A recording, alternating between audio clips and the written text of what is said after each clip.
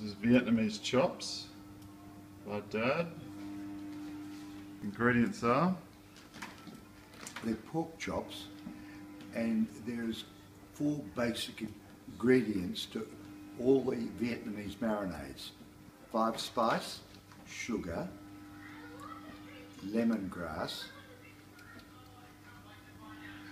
and fish sauce. fish sauce. Did I say sugar? Have now. five spice, anyway.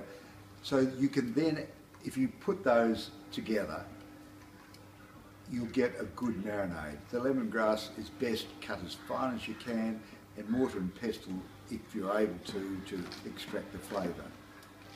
You can then add a series of different marinades, and that marinade is good for pork, chicken, beef,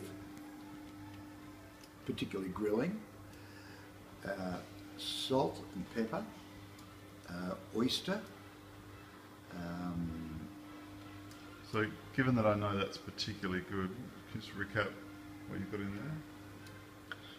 lemongrass, sugar, five spice and fish sauce. That's it. Yeah. Pepper, salt. Um, can add pepper. I mean, you've got a nice flavour there. You could then complicate it and make it, you know, by just.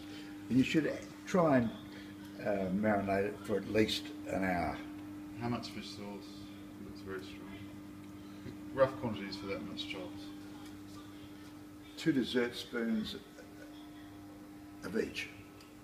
Fish sauce, sugar, five spice and lemongrass. two dessert spoons of five spice.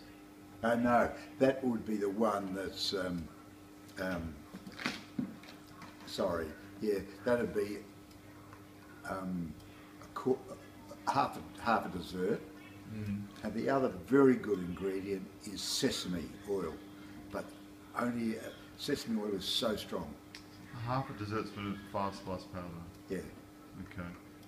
Two dessert spoons of sugar, chopped up lemongrass, and fish sauce. fish sauce. And um, half a teaspoon of sesame. Okay. That was it. And then if the sesame's a bit strong, just add a bit of extra sugar.